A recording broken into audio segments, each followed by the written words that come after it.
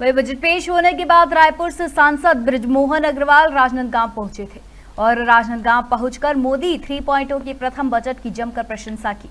उन्होंने कहा 23 जुलाई मंगलवार को केंद्रीय वित्त मंत्री निर्मला सीतारमण पूर्ण बजट 2024 से 2025 को पेश किया है। इसमें विकसित भारत की रणनीति का भी खुलासा होगा। अर्थव्यवस्था में मांग बढ़ाने से ठोस कदम उठाए जा सकते हैं।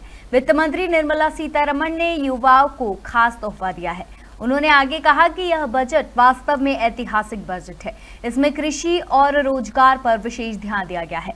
इससे कृषि और रोज़गार के क्षेत्र में नई क्रांति आएगी।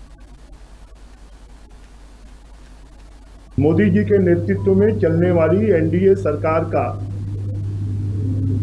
बजट आया है। ये बजट भारत को सशक्त भारत बनाने वाला भारत को शक्तिशाली भारत बनाने वाला, भारत को आत्मनिर्भर बनाने वाला, और भारत को विकसित भारत बनाने वाला बजट है। अभी तक जितने भी बजट आते थे, उन बजटों में घोषणाएँ होती थी। परंतु मोदी जी के आने के बाद से ये ग्यारहवा बजट है। जिन बातों को भी बजट में कहा गया है, उनको पूरा किया गया है। ये पहली सरकार है,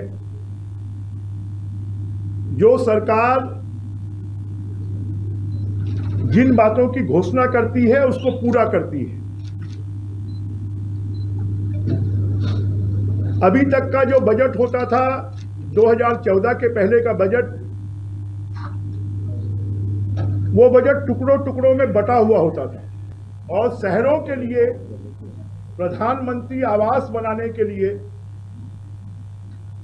10 लाख करोड़ रुपए की व्यवस्था की जा रही है, जिसमें ढाई लाख करोड़ सरकार का होगा, केंद्र सरकार का, राज्य सरकार का पैसा होगा, और इसमें लगभग 10 लाख रुपए तक का घर, जो मीडियम क्लास, लोअर क्लास के लोग लेना चाहें उनको सस्ते दर पर लोन उपलब्ध करवाया जाएगा।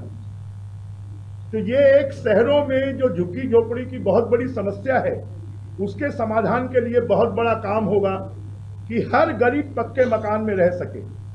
इसी प्रकार 100 शहरों के विकास के लिए, जहाँ पर सड़क की व्यवस्था, साफ़ सफ़ाई की व्यवस्था, जल निकासी की व्यवस्था, और वहाँ पर अच्छे फ़ूड स्ट्रीट बनाए जाएँगे, जो कि हाइजीनिक भी हो, जिसके माध्यम से लोगों को हाइजीनिक फ़ूड उपलब्ध हो और ऐसे स्थान उपलब्ध हो, जहाँ पर लोग विश्वास के साथ में बिना डर भय के जाकर खा सकें।